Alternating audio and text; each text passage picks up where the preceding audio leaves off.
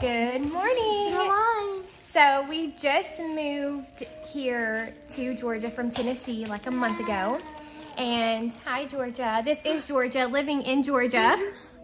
So Tennessee, two days ago, just got hit with a big snow. So we're missing our first Tennessee snow. Um, but even though we don't have a snow day today, Iris got a two hour delay with school. And yesterday she was out of school because the temps were so low. And so she's ready for school now in her cute little toboggan.